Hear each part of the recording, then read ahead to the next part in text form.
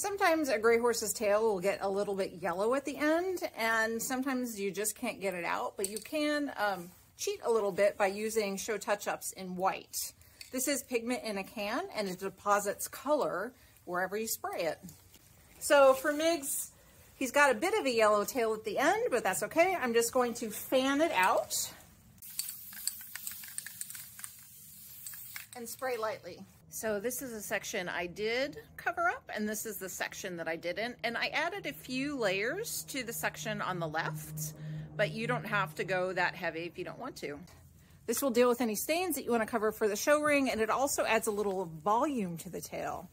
So if you have an Appaloosa,